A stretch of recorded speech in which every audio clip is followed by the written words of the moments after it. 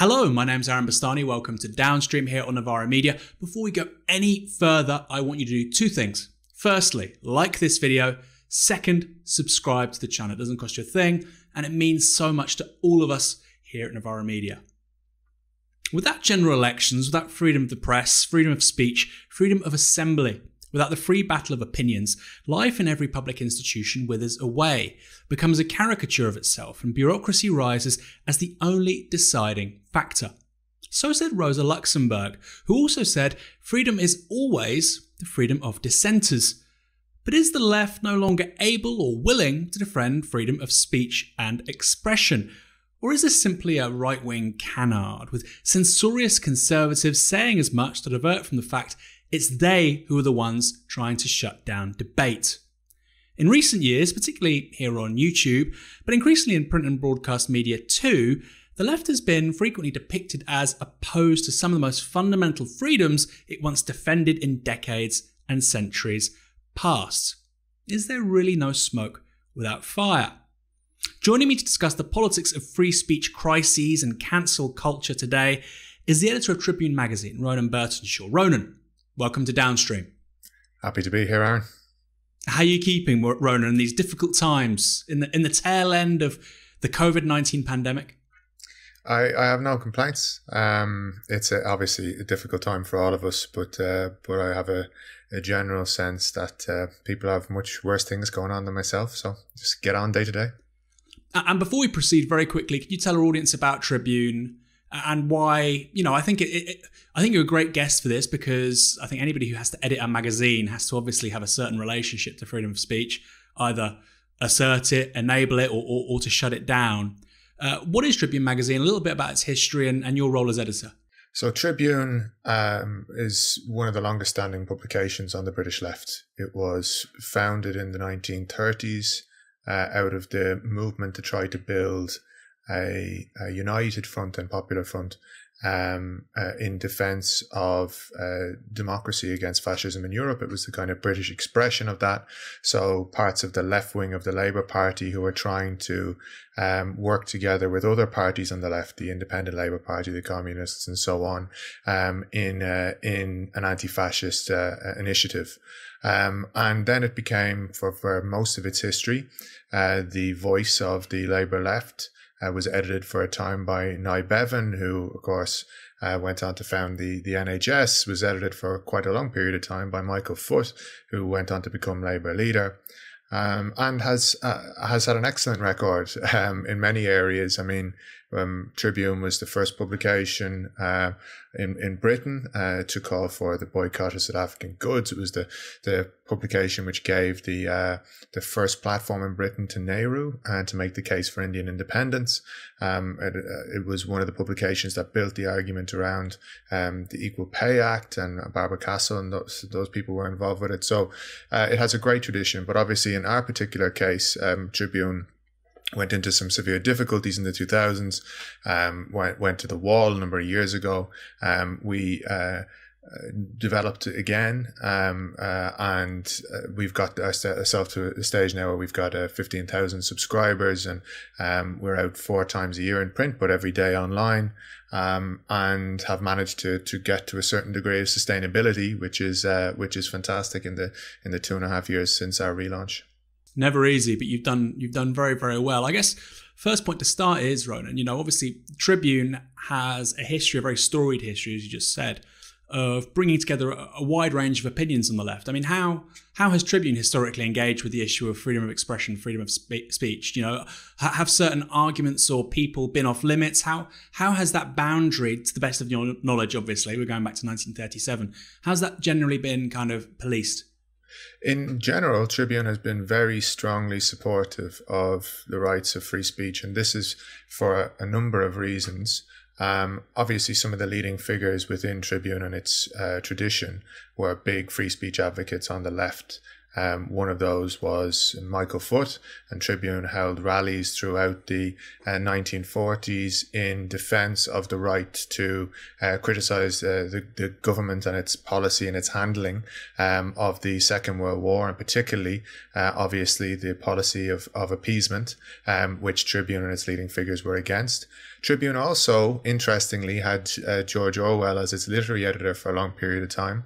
Another story that I think people are not so aware of is that the uh, uh, George Orwell's um, uh, Animal Farm, which uh, of course was a scathing critique of the uh, Soviet system, um, and one which of course people may have their own critiques of on the left.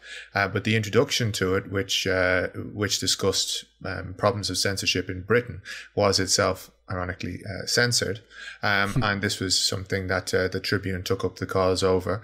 I think throughout its early years, Tribune reflected the reality of what was going on in Britain with censorship and the fact that it was disproportionately targeting the left. One of the big canards, um, as you raised in your intro, of the right's current narrative around freedom of speech in Britain is that Britain is uh, a country which has a storied record of defending free speech. And that just isn't actually true. It may have been true in the days when Karl Marx arrived in Britain as a refugee and Britain was seen to be a, a relatively free country for those who are fleeing oppression elsewhere. Um, but it hasn't been for a hundred years or more.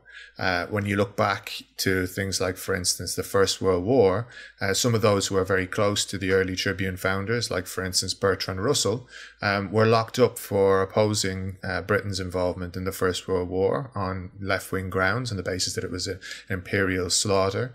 Um, he, he, was joined by people like John Maclean, Willie Gallacher, major political figures imprisoned uh, for their stances on, on a war. But this is not just like a historical question. Censorship has run through um, the major institutions in British society throughout the 20th century. You've got the early days of, for instance, um, uh, book publishing, and people forget that Ulysses, James Joyce's Ulysses, was banned for its first decade in Britain. Something that's been kind of disappeared from from official histories, but is absolutely essential to understand that development. That didn't just end then as late as the 1980s you had books like spycatcher uh, about mi5 and and its activities that were that was banned. And the economist had to run a review of that in every other country in the world except britain where it published a blank page um, early cinema, uh, incredible films like Battleship Potemkin, uh, and in fact, almost all of early Soviet cinema was banned in Britain. Um, some of it was banned directly. Battleship Potemkin was banned in case it incited uh, communist revolution in Britain, uh, but uh, almost all the, the rest of the kind of pioneering early Soviet cinema was banned simply by making it impossible for it to come into the country and destroying it when um, when there were efforts to bring it in and it had to be shown um, by activists on an underground scene. Um, this goes through all the way through the 20th century, and it's not just like radical left stuff. You've got movies like Marlon Brando's Wild One banned for antisocial activity, movies about drugs like Trash and Trip and so on, banned because they're you know too explicit on on, on the drugs front. Um, and and it's it's a fundamental part of much of the 20th century history of Britain is that there is a, a culture of of uh, of censorship, and it, it it is still something I have to say that that's in place today, and I know we're going to discuss a bit more now.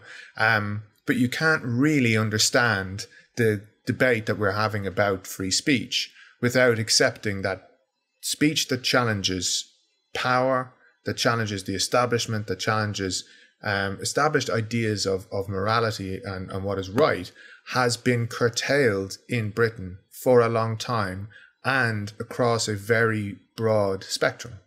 If you're enjoying this interview and would like to see more like it, go to novaramedia.com forward slash support. We only exist thanks to the generosity of our supporters. You can make a one off payment or you can become an ongoing supporter. Either is fine, and we are incredibly grateful to everybody who helps us keep going. It's only thanks to your kindness that Novara Media even exists. Now, on with the interview. I'm really glad you started with that, Rowan. I think it's it's just completely spot on. You know, as we're speaking right now, Julian Assange, probably the most influential media figure I think of the last ten plus years, easily, is in Belmarsh Prison. Mm-hmm. And you've got people like Dominic Raab talk about media freedom overseas. And this is a guy who's in prison. The reason why he's not being extradited, and you have to give credit to the, for the judge for the judgment they made, was because they viewed him as a suicide risk in the US prison system. And yet, still, even in light of that, he won't be released uh, here. He's still in you know, a very high security prison. Belmarsh is not, a, you know, it's not a category C. It's not a walk in the park. This is a punishment being inflicted upon a journalist because, like you say, they undertook certain things which aggrieved the wrong kind of people, i.e., the American security establishment and to a lesser extent the British security establishment. So I think it's really important to say that, and it's not it's not gone away in the slightest. There's a great book. Now you, you talked about the First World War, but the Second World War too, as we've mentioned before privately. You know, a great book by Clive Ponting, 1940.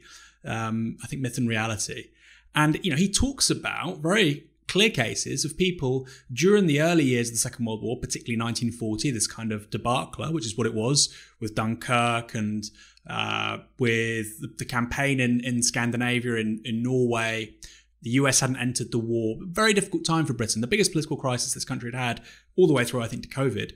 And there were people that were going to prison for five years for saying that they thought Hitler was a good man. Now, of course, I don't agree with that. I think it's a disgusting thing to say, particularly in hindsight, knowing what we know now. But it's fair to say that it wasn't, and you might say that was justified. It was a country at war, but that that doesn't that doesn't strike me as a you know a part of the national myth. And if you said that to people, they would say, "Oh, I can't believe that." You know, they're not hurting anybody; it's just words. No, this is like you say, it was a fundamental part of of, of Britain's approach to security, yeah, and it kind of for me Sorry, I was, I was, going to say. I mean, those two points come together, Aaron, at a very interesting um, uh, departure, which was that the, the Daily Worker was censored. People forget this like the Daily Worker, which was at that stage because the Communist Party in Britain was significant and it was linked into the labour movement and so on, it was substantially censored during the Second World War, and that was both an attack on journalism and the the, the right to have you know reporting on a whole series of questions. For instance, at that stage, you know what workers' perspective was on rearmament and all of these kind of questions, um, but also it was a political uh, manoeuvre um, and and a, a, kind of attempt to keep um, uncomfortable politics out of uh, the public public sphere. Uh, like the Second World War was really quite f- basically full of censorship in Britain, and it's it's not been digested properly. I don't think there's very some very good history on it, but in terms of the public sphere, again, this the kind of mythology about free speech Britain doesn't work when you look at the history.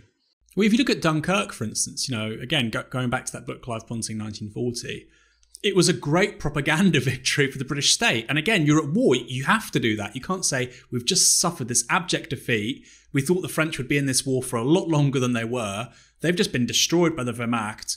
We've just, you know, we, we thought actually France was the most powerful army in Europe. That was the kind of common sense before 1939. And it's just been, it's just fallen away in, in a matter of weeks confronting, you know, the, the, the Third Reich of course you don't say that you know so obviously that's what happens when you're at war but again like you say even today you would have thought 80 years later people would be in receipt of the facts about what happened with dunkirk the fact it was this utter debacle the fact that it wasn't you know this even this film made in 2017 by I think Christopher Nolan, you know, it was these pontoons, these small ships that were bringing people back. It wasn't. I think three quarters of the people brought back were on Royal Navy ships. And and overtly at the time, you had people, again, it's all a matter of public record, military intelligence, senior people who would say openly to journalists, you, you need to tell a certain kind of story here. Now, I mean, we're not talking about censorship in the media and propaganda, that's a separate thing. We're talking about freedom of speech. But I think you're right to say, Ron, and we can't really you know, necessarily disaggregate the two when talking about freedom of speech within the context of Britain. No, and you fair? certainly can't with journalism because you, you mentioned Julian Assange at the start of that, and I think it's a, it's an important and worthwhile case. Um, that is obviously uh, an instance where somebody is uh, producing information that's in the public interest uh, and is uh, being given such an extraordinary punishment for it in terms of his life being destroyed that it amounts to the same as uh, a censorship in my view. And it and it's certainly what it is is a is a direct attack on uh, on his speech. And people there's a memory hole really where a lot of the details of this case has gone like GCHQ operatives went into the Guardian and had them destroy hard drives in a newspaper headquarters in 2014 yeah. over the Assange case. The yeah. Guardian has never been as radical again as prepared to challenge the national security state again after that incident. And people just want us to forget all of it.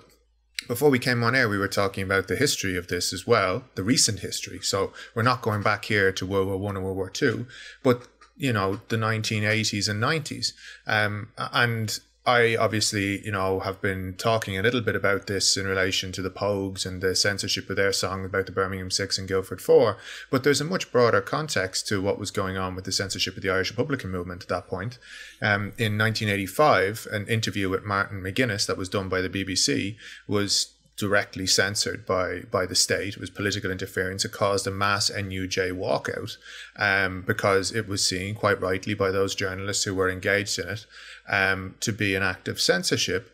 And instead of responding to that walkout with a kind of, you know, classical British defense of free speech, what actually happened was between 1988 and 1994, um, all voices of uh, members of the Irish Republican movement, you know, and political parties like Sinn Féin, um, were dubbed off uh, off the TV and off radio. You couldn't hear them; they had to be voiced by actors. And obviously, their statements were kept to an absolute minimum. This is at a time when you know political parties were running in elections, um, and you know were standing for public positions, and their representatives couldn't be heard in their own voice on uh, on the the radio and television. I mean, it's I, I have to say it's just absurd to have a, a, discussion as if this country is like, say, for instance, the United States. Um, and I'll talk a little bit as well about something that's more relevant directly to Tribune and to me now, because this country also has some of the most restrictive libel laws in the world. People travel to London to file lawsuits on particular issues because it is so incredibly uh, difficult to write something and make an argument about somebody uh, within British uh, or English in this in that case uh, libel laws. There's slightly different ones in England and Scotland, but they're both extremely um, extremely punitive. And those libel laws basically allow a situation to emerge where if you want as a journalist to write something about someone you have to know beforehand that you have a deep enough pocket of money that you yeah. can sustain a case even if like that case is completely frivolous the the way in which the libel law is set up, all they have to do is tie you up for you know two, three, four, five um, years in some cases. Mm. Uh, certainly, it can be multiple years in a long legal battle that you then have to pay for out of pocket, and you're very unlikely to get all of your costs back. And so, even if you've been vindicated by the case, you're still going to take a huge hit on it. And so, very wealthy people know in Britain today that they can just go around suing everyone who says anything inconvenient about them. And unless you represent a big corporate, you know, entity, um, you're very unlikely to be able to fight your corner. So, Tribune at the moment, and this is the first time we've said this publicly, uh, Tribune is being sued. Um, Tribune is subject to uh, to a libel case. Uh, it is entirely, in my view, um, a frivolous case. It is not a case that has any substance, and we're going to fight it, and I think we're going to win it. Um, I can't say any more. I'm legally restricted from saying any more about it. It's not related to the Labour Party before people go off on, on that uh, tangent. Um, but it is a very serious case uh, insofar as if we were to lose it, it would be the end of all of the work we've done to build this publication over uh, over two and a half years. Mm. And you know, we, even right now, it, we are being tied up, and all, a huge proportion of our kind of resources, our time and effort is being tied up in uh, mounting a defense, a defense for a case. Which, to be frank, when people see the details of it, they will be amazed it is it is a case in which we have said something that there is absolutely ample evidence uh, to to demonstrate, and it's a case that you know. Uh, we we really shouldn't be involved in, but the nature we are because the nature of, of libel law in this country is such that it makes it extremely difficult to publish things. It makes it extremely difficult to say things. And and even if you don't win the cases, you still tie people up in huge amounts of of uh, of work with lawyers that cost an awful lot of money, and in which who knows whether they're going to get their um, whether they're going to get their uh, uh costs back. In vast majority of cases, they don't have costs to- costs totally covered. We've talked about this history of censorship. We've talked about um, you know Britain has these these well, England and Scotland they have slightly different laws, but they're both pretty bad um, have these terrible libel laws. You, you, know, basically your your ability to get justice depends entirely on how wealthy you are. Why, given all of this, you know, and we don't have a constitutional right to freedom of speech like in the US, particularly if the Tories want to get rid of certain legislation that's Some relates to the EU, most of it doesn't. The European Convention on Human Rights. If we were to somehow escape that, you know, our, our codified rights would be even worse than they presently are. Why? Why, in all of light, in light of all that, are most Brit, many Brits, particularly small c conservative, you know, on the right, centre right Brits, why do they believe that for some reason Britain is this paragon of freedom of speech when there's absolutely no evidence for it? Where do you think that comes from? What kind of what kind of need is that addressing or meeting? I think uh, the, the concept of freedom of speech has been turned on its head. You know, speech is really a question of power, your ability to say things um, that threaten uh, people is a question of, of power. And that that really, when it boils down to it, is what free speech is about. Um, because in the first instance, you know, uh, anyone can go around uh, just voicing opinions if it doesn't inconvenience people, uh, and without a platform, it's not going to be picked up. It's not going to be a topic worthy of discussion. What becomes a topic worthy of discussion is when somebody gets a platform to say things. Um, and obviously, in Britain, you've got a context where half of all the newspapers, more than half of all the newspapers people mm. read every day, are owned by News UK, Rupert Murdoch's News UK, and the Daily Mail Group. Uh, and so, a huge proportion of these platforms are tilted to the right. So when people have, you know, that kind of platform to project their views across society, or when they're saying things that fundamentally threaten established interests and power. And that it's within that paradigm you have to see the question of, of freedom of speech, because freedom of speech is really most fundamentally challenged when it when people are able to project a subversive opinion across a wide um, section of, of society.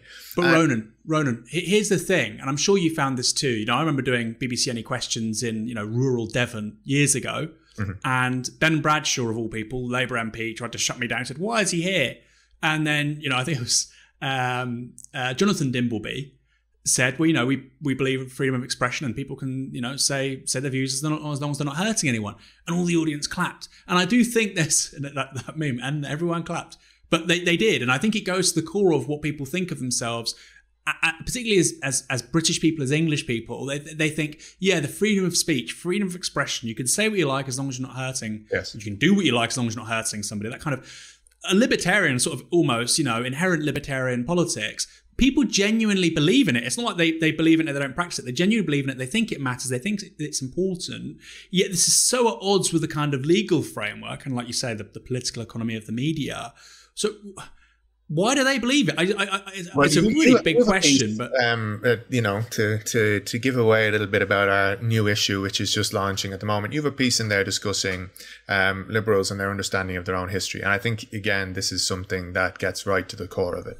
So Britain has an understanding of its liberal tradition, um, which is informed by a whole series of important philosophers of the liberal tradition, which come out of the kind of uh, English political sphere. And that makes a certain sense. Um, people learn about this and that tradition in, in their, their schooling to some degree. Certainly, if they go on to learn about politics at, at higher level, um, they do. And there is this idea that um, that that is quite written into the fabric of the, the British state. Um, and there's all of, course all of these discussions about you know people's rights and the Magna Carta and so on. Exactly. Uh, uh, which which are a big part of the identity of of being British, and I understand that.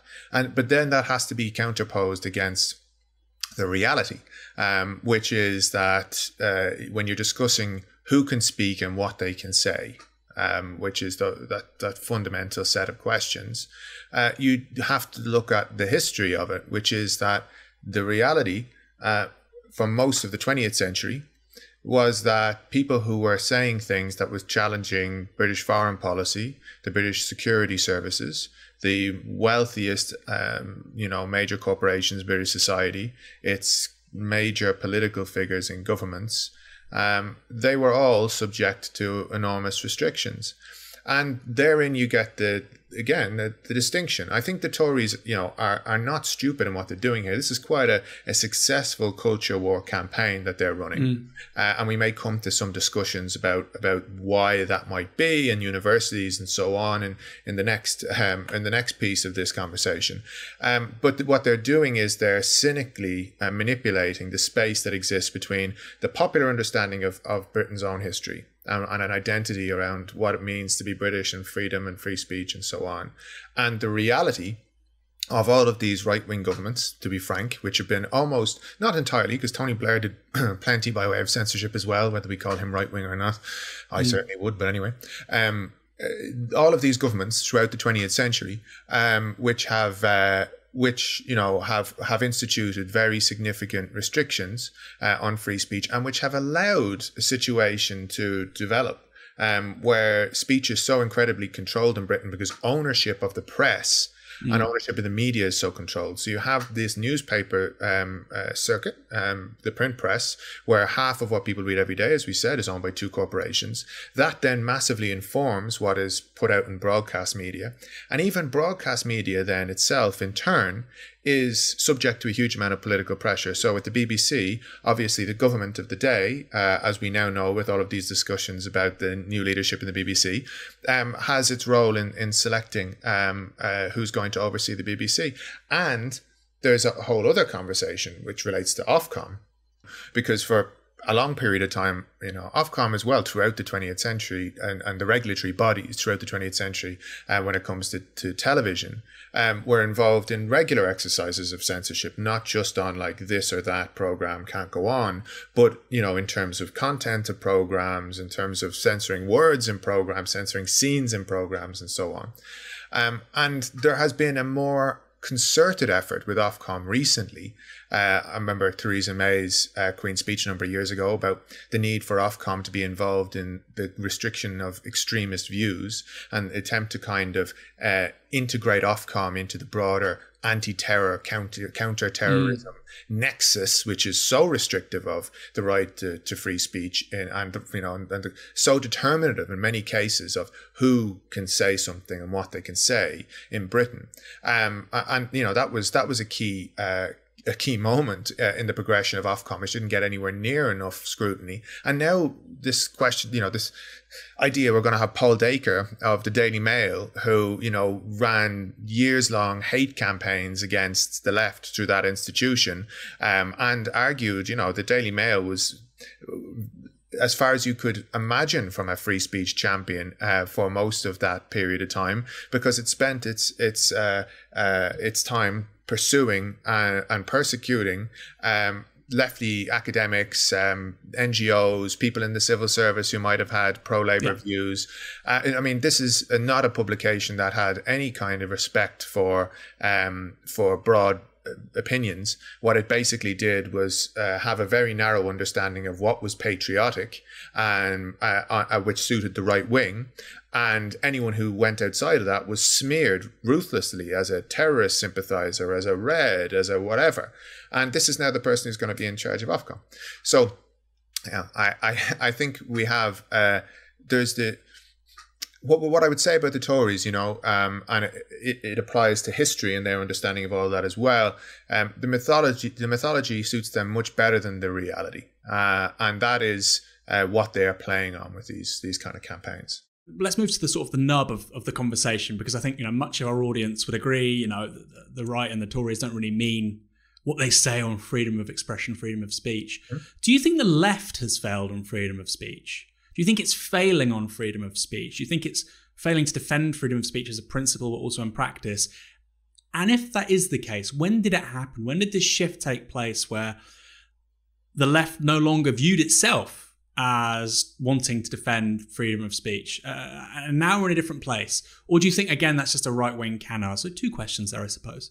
Look, I think the left has a problem of understanding around speech. And I've, I've been saying this for, for some time now, um, which is that people think because there is some degree of uh, cultural superiority uh, for certain social liberal ideas at this moment in time, that that mm. means that the left has an extraordinary amount of power and therefore we should be getting involved you know alongside say major social media corporations or university managements or whatever else in in policing um, uh, people's right to, to say certain things but what that inevitably does, and in fact, what that is already doing, is making a stick for our own back. Because uh, when it comes down to it, the people who really have the power to decide who can say something and what they can say um, are people who own things, the people in state power, the people who you know exert control in our society, and the left has none of those positions, and so here and there we might run you know a campaign um, to get this or that person sacked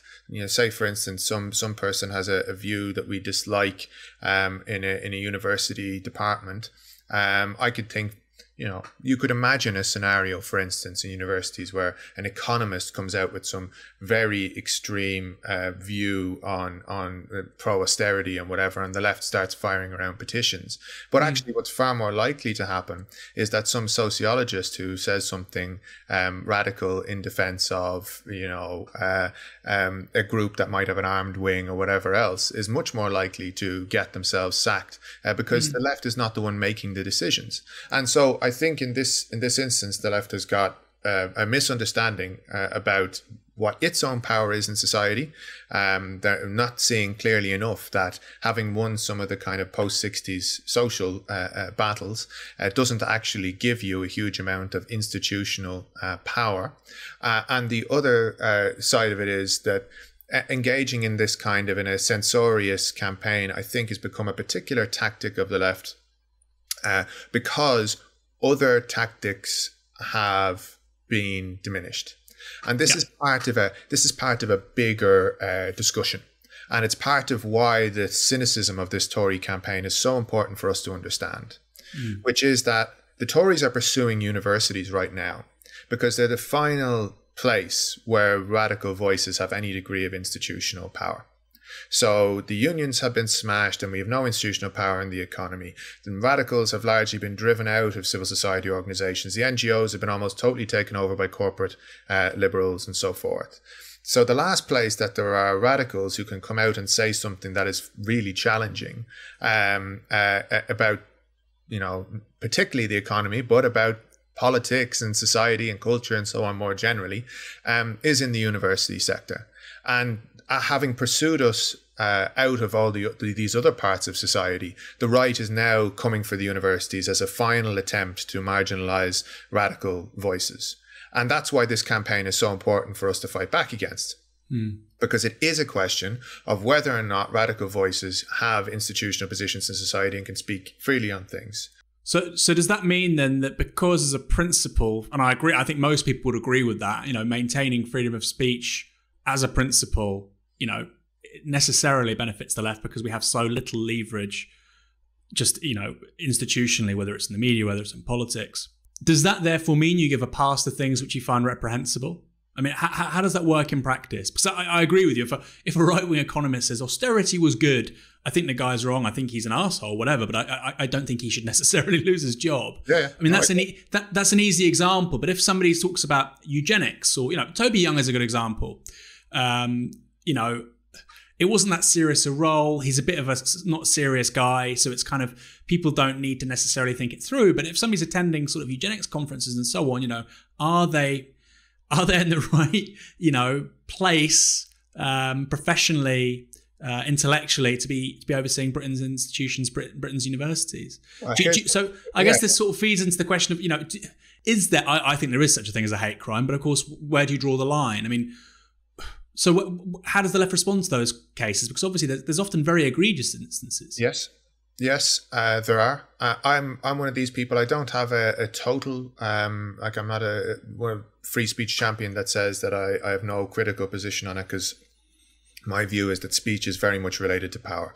And the second you you divorce it from that question, you try and establish uh, principles that don't uh, interact with the realities of the world in terms of who has power to dictate who who can say something, what they can say. Well, then you get off into a kind of fantasy land.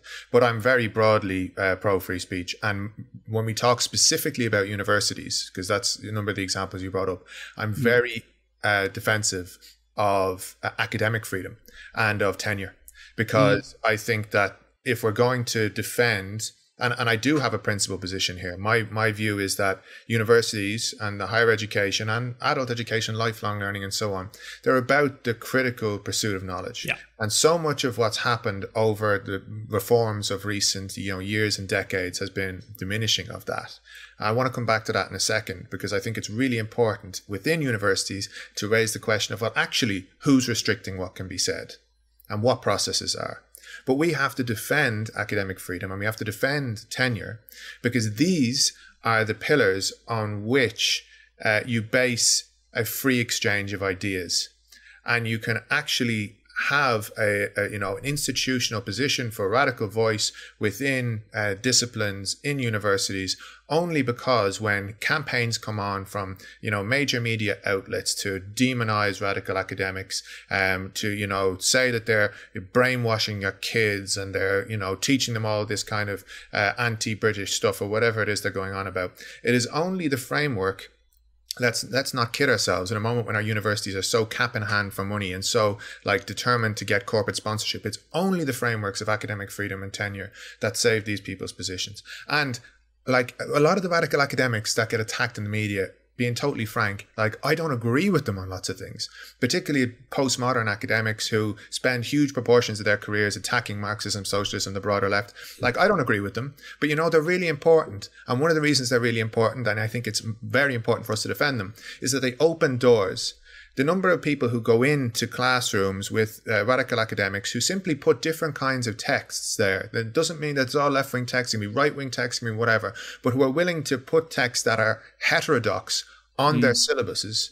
Those open doors that people then begin to walk down and, and think about it. I, I mean, I remember I had that experience with reading Foucault in university. I mean, I have no time now for Michel Foucault as a, as a social theorist, um, but the fact that I was given the exposure to reading Foucault was actually pretty important because it took me down into Foucault and then the critiques of Foucault and then questions of radicalism and then what had happened mm-hmm. in the mm-hmm. post 60s period, the nature of the welfare state. And before the end of it, I ended up with, you know, quite advanced sets of understandings um, uh, that are that are running counter to mainstream understandings of the of the 20th century. And it's because that door was opened.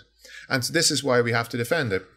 And we have to have a discussion more broadly about the universities as well, because the right is running a campaign right now about, you know, it's these wild students who are, you know, uh, trying to, to get everyone sacked in universities um, with their no platforming tactics and whatever. Um, and I'm not going to defend all of that. And we've just had a discussion about, you know, my belief that we shouldn't be calling for people to be to be sacked. I think it's a it's a, a stupid uh, tactic, and it's also in principle wrong. But there is a, a broader question here, which is I remember the post crash economics discussion after the 2008 crash when students had to come together and demand that their universities include some more left-wing economists in mm. uh, the, the economics departments, some more heterodox economists in economics departments, because what they were seeing happening in front of their eyes day to day on television no longer made sense mm. against what they were learning in their in their syllabuses. Yeah. And that is actually the reality of British universities. Certainly, the sec- the sections of those universities that really have something to say about power, the politics departments, the economics departments, and so on, the history departments. These are not run by, in the vast, vast, vast majority of cases, by like wild-eyed radicals. It's a complete nonsense. If you have, and, and I have to say, you know, it doesn't mean I, I read quite a lot of um, uh, uh, uh historians who are not left wing, and I'm interested uh, in quite a lot of like earlier social history. I think that you know BBC's program in our time and whatever is a really fantastic um, a kind of way to show off the interesting historical discussions that are going on inside British universities. But it's a total canard, right, to believe that uh, the British universities and their history departments are all being run by radicals. They're being run in the vast majority of cases by pretty conservative mainstream establishment historians. And you've got the odd radical voice here and there dotted around the place. And it's the same with most other departments, most other disciplines. There are a few that have more sociology and so on, have more, but not that many. And that's the reality of what universities look like. Yeah. But can I, can, can I just say, Ron, as well? It just it, it goes back to your point about money and resources and power. Because if you take UCL, for instance, recently, there's a bit of a fight there about adoption of the IHRA. Uh, now, you, you might think that's a, a, a good thing. They should adopt it. You might think it's a bad thing. They shouldn't adopt it. What I think is inarguable, I don't think they should adopt. That's my personal view, but that, that's kind of irrelevant because what matters is, like you say, if they get enough pushback on whatever decision, if if corporate donors don't want to get involved, if people who are leaving their money, you know, sort of in their in their legacies and their will, uh, alumni who are sort of you know wealthy and giving them money regularly, if they start saying this isn't really acceptable, you know, to what extent is there academic freedom at UCL to adopt one position or the other? Because money talks. Because right now, universities, to an extent we've really not ever seen before, have been subordinated to profit and to capitalism right? Fundamentally, you, you need money to exist, which 40 years ago, 50 years ago wasn't necessarily the case for universities. Now, I'm not saying they were more enlightened 40 or 50 years ago, but like you say, the extent to which uh, power, resources, money inhibits freedom of expression, uh, freedom of intellectual curiosity, I, I think that's inarguable. And it's clearly only going in one direction. Absolutely. And it's actually the structure of the modern university, which is the most restrictive thing uh, in terms of setting the terrain for what can be said uh, and who can say it. Because the truth of it is that the modern university, like the vast majority of big and important research decisions are made with corporate sponsorship in mind mm. at the very least, if not are made on the back of what funding is available from who to be able to do what research, which means that, and this is not just in sciences. I mean, it, it, it's not just in, in the kind of hard sciences and natural sciences and whatever. It happens in the social sciences to some extent as well, um, where questions are being asked over your ability to pursue things on the basis of what money is available and then who's making mm. the decision over what money is available. Well, in many cases, uh, certainly, you know, when we think of the, the role that big pharma is now playing in universities, and I know we have all this debate about the vaccine and so on, we can get into it at a later stage, but whatever you think about that outcome, the process by which big pharmaceutical corporations can decide how huge amounts of university resources are, are deployed is obviously a question of determining who's allowed to pursue what research and where. And that applies actually across the university. The big money is shaping what is what you can pursue and what you can't. And you know what else is shaping it is the process of uh, university staff being casualized, university mm. staff being yeah. underpaid for their work, yeah uh, and and the fact that academics are being forced into a hamster wheel um, to produce more and more and more kind of papers or publications in order that universities can rank in a certain way in uh, league tables in order that then those universities can attract more international sponsorship and more international students and more money in as part of a kind of commercial racket. And mm. those academics who are being forced into that hamster wheel, they can't actually uh, go about saying what they want to say. They can't go about, you know, writing on the topics they really want to write about or pursue because what they're being forced to do is to simply churn out as many papers and as many kind of topics uh, as they can in order to get the university more points in this in this system system. And the same, by the way, with academics who've got precarious working positions or casualized and whatever else. Well, what happens when they go and say something controversial?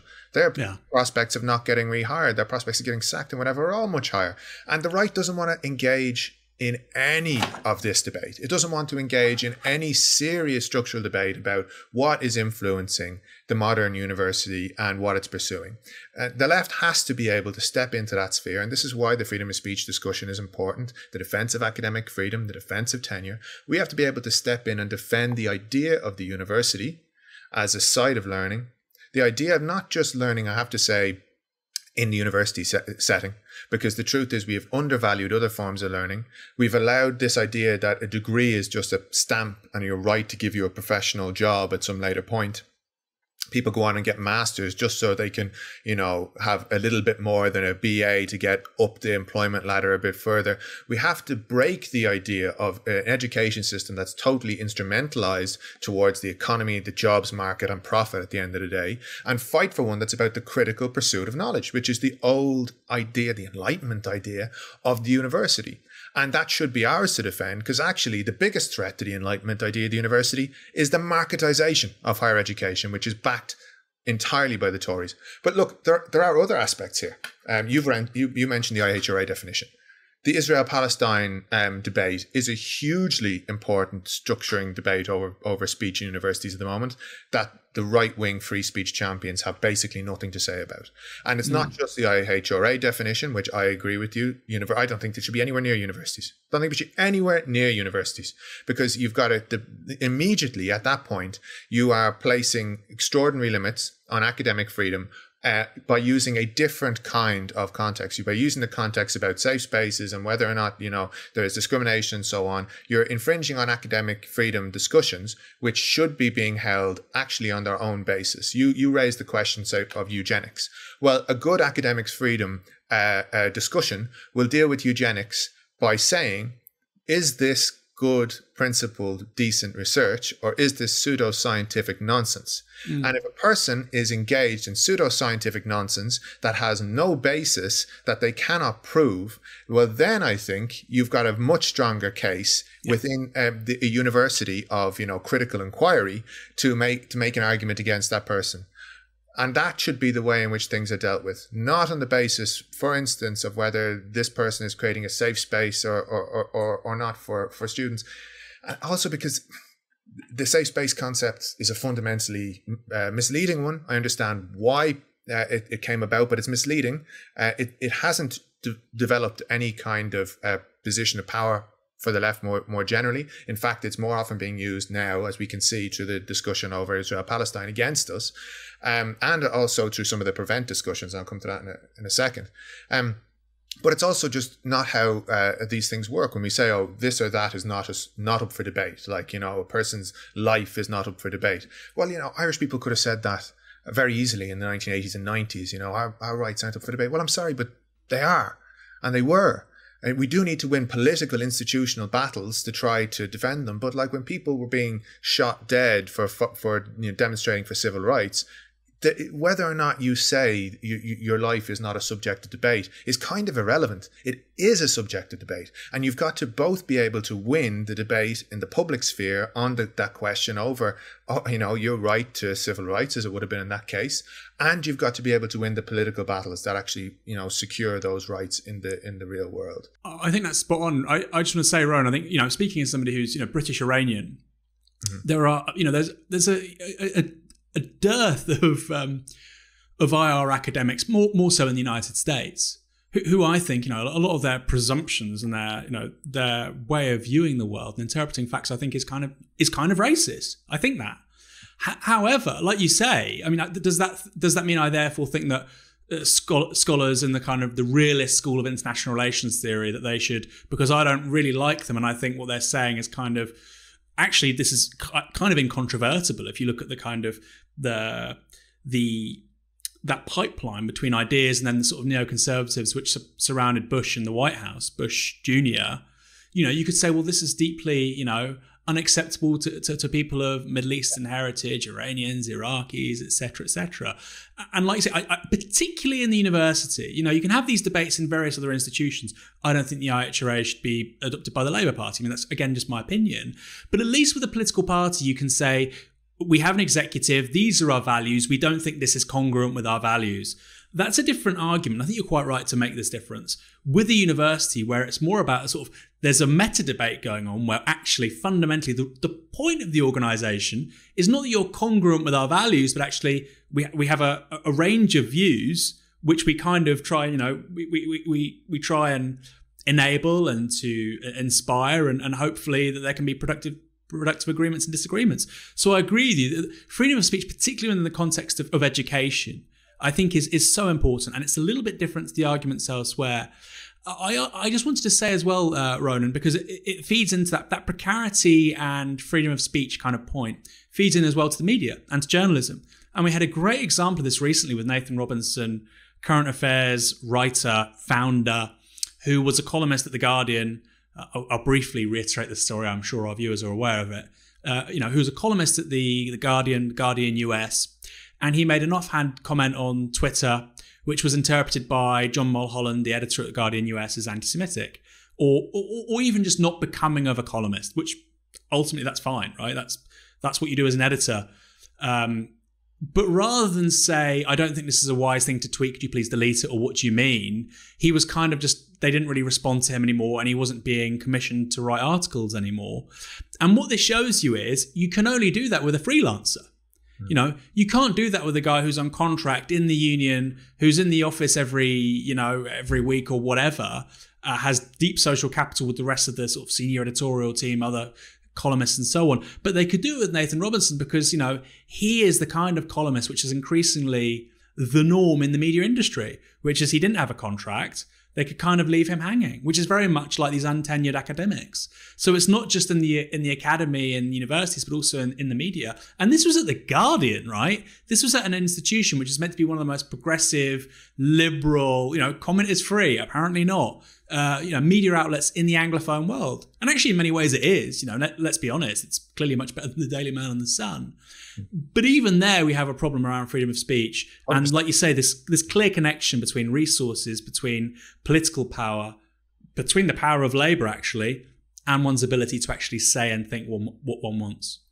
I think it's a very important point. Also, you know, let's let's remind ourselves again when we talk about speech and power that in the last five six years in Britain there has been a leader of one of the two major parties who has had no major newspaper, TV station, whatever, no major media outlet that reflected his views or that gave him support. The left, actually, in the broader context of speech in Britain, is basically written out of the picture here. The real, yeah. you know, the, the left, and by that I mean, for me, I mean socialists. None of the newspapers, major newspapers, reflect our lines. We're very consistently left out of the conversations that happen on BBC, ITV, even even on Sky. Slightly less there has to be said, but even still in places like that. So we are basically uh, denied uh, on a much broader scale. You know, the right are running these campaigns around who's invited to like student debate societies. Uh, there, there's some importance there. By the way, it's not the same as academic freedom in those places. This is a student debate society. It's not whether someone has tenure or, or not. And I think those are very distinct and different questions. Um, but they're going crazy about this or that person not being invited or being deep, you know, invite being rescinded or whatever from a student debate Society? What about a whole massive section of society who was, for a period of time, you know, reflected in the leadership of the Labour Party, who have no media institution that will go to bat for them? The Guardian and the Mirror to a significant extent, the New Statesman, they were actually more aggressively anti left and anti socialist throughout the Corbyn period than even the right wing was in many instances. And so, the, but there's no discussion of that because they don't have an interest in, in having a real debate about speech. And you know what? This is true across the board for the right because one minute they're going on about we need to have free speech in society. It's a very important thing, um, you know, and, and in universities and whatever else. And the next minute, what they're saying is, like Michael Gove when he introduced that new curriculum uh, uh, for history, oh, we only need to be teaching patriotic history and all this mm. anti-British, anti-empire history has to be written out. One minute you're getting a line from the Tory government, which is like, we need free speech czars in our universities. The next minute, you're getting the culture secretary coming out and saying that um, in the case of the National Trust, when it did a report into the history of some of the properties and empire and slavery and whatever else, that, you know, we need to stop this anti-British propaganda in our institutions.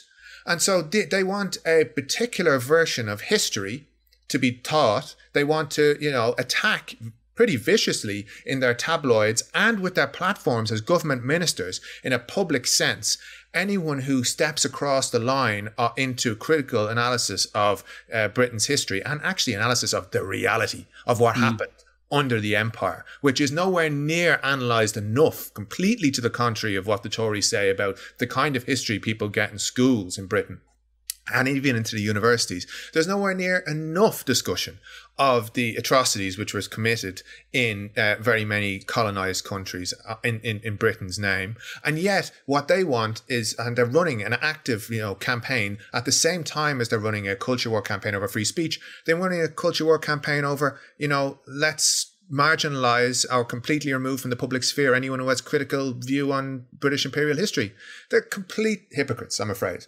Um, and it, by the way, it, it, goes even broader than that. You think of Priti Patel and and the kind of you know campaign that she's running over free speech and making it a big part of her um, uh, her position and her kind of political discourse uh, at the moment that we need to defend free speech. And then we find out that actually the government is supporting, through John Woodcock of all people, um, an inquiry into progressive terrorism and into you know like the activities of far left groups and all the rest of it. Somebody when John Woodcock, you couldn't pick a, a, aside from a bigger idiot, you couldn't pick a more like prejudiced person to run an inquiry on that basis because he spent his entire bloody life uh, involved in like battled back and forth with people who are socialists and particularly in recent years and and so like you know we all know what he's going to end up saying about this but the same government that's arguing well we need free speech for people, then turns around and says, well, we need to look into, you know, all of this kind of stuff that's too radical that environmental groups and whatever are doing. And that, you know, is part of a context too with the Spy Cops bill and the fact that progressive groups, in a wildly disproportionate uh, instance, only a handful mm. of far right groups were looked into. We now know because of the Spy Cops inquiry. You know, the government is quite happy to to go in and send its agents into progressive groups to snoop on us. It has a massive surveillance apparatus. We just discussed what the GCHQ did uh, when it came to the Guardian, and yet somehow the Tories are the defenders of of like free speech and and critical debate in the public sphere it is a farce. It's a complete farce. And the people in the media who like outside of the right wing who are just cynical about it, uh, the people in the broader media sphere who engage with them as if uh, they're honest actors or good faith actors are are dupes at best. Final question, Ronan, because you've talked about, I think it's a good analysis of what of what the truth is. But what does the left do about it? How, how, how can the left assert, reassert itself as a champion of freedom of expression, freedom of speech? Or do you think that's simply not possible, given you've got this sort of structural economic analysis of things? I mean, is the answer, oh, well, we need to own the Sun newspaper, or are things a little bit easier than that? I think we need to defend the public sphere. I think it is important. Uh, so, more broadly than that, we need to, to be able to have arguments um, about what kind of political debate uh, broad political debate that allows heterodox ideas should be sustained in society and how that should be sustained. And we should be leading that debate instead of allowing terms like free speech to be totally co opted and taken by the right who don't believe in any of it. Because unless we do that, the truth is we'll be the ones shut out it is a principal point. It's a principal point, certainly for universities. It's a principal point because we should believe in those Enlightenment ideas of the critical pursuit of knowledge that sustain the institution of the university. But it's also a point around politics and that people have to be really clear that we're not the ones who have the power in society to dictate the terms of the debate. It's not really us who gets to police it. Despite what a few like big corporations who have BLM flags or gay pride mm-hmm. flags at certain times a year might lead you to believe. The truth is, a small amount of like power, social or cultural power in terms of liberalism, doesn't translate to any significant power for the left. And then the bigger question of all this is, as well as us making a, a, a, an argument over uh, speech and the public sphere in society, we have to do the practical work because we can go and make principle cases about these things free speech, the public sphere, critical pursuit of knowledge, and all the rest. The right doesn't care about any of them. They're, they're going to have their free speech unions. They're going to have all this kind of stuff. Mm. Really, it's a culture war campaign. They're not going to care. And what they're certainly not going to do is allow a scenario to emerge where actually we have a platform, like a significant media outlet where we can voice our opinions or where, you know, we have think tanks on the same kind of scale that they would have or, you know, where we have anywhere near the number of academics even um, with like properly radical views or these socialist, Marxist, or even some of the postmodern ones in these big uh, institutions, say like in, in economics departments. We're a million mm. miles away from having you know, any any kind of significant number of socialist economists in the economics departments of British universities, and they're never going to change any of that. So we have to begin to adopt institutional analyses, and it does start with the question of the media because you the, the media is a is a key fulcrum of the public sphere. It's what the Tories are running this campaign over the university sector and so on yeah. through, and we have no voice in it. You know, The Guardian occasionally gives access to a few radicals here and there, but they only do it just to sustain an audience. They hate us. They absolutely hate us. Uh, and we have to have our own. And that means going back to some of the discussions the left was having back in the 80s, uh, you know, where the, the, news on Sunday was launched and all the rest of it. We have to actually talk about um, balancing the media landscape by having a big mass audience left wing newspaper or uh, publication, you know, channel, whatever it is, that will begin to put a counterbalance to the kind of constant lurch to the right that outlets like, you know, GB News are just the latest example of. Mm. Great place to finish on. We're not going to have meaningful freedom of speech without a different kind of media. Ronan, thank you so much. Thanks for joining me today. Pleasure. And uh, you did so after having a difficult surgery on your shoulder, I'm told two weeks ago and got a shoulder reconstruction. And uh, it's going all right. It's going all right. Uh, we managed to get the latest issue of uh, of Tribune out through it. Um, I would highly encourage people to go and look at our Twitter page and Facebook and all the rest for the latest uh, offer to subscribe to Tribune because you know we need your support in order to survive in the same way Novara does. And actually, there's a very good crossover in the latest because we have. Uh, we have the noble Aaron Bastani in the uh, latest print issue discussing um, uh, some liberal falsification of history. So, uh, so I think people will be very interested in it. Well, you did a great job editing it, and it's commitment to the cause that you managed to do that whilst uh, whilst bedridden. Thanks again, uh, Ronan. Really, really good conversation. Appreciate it. Cheers.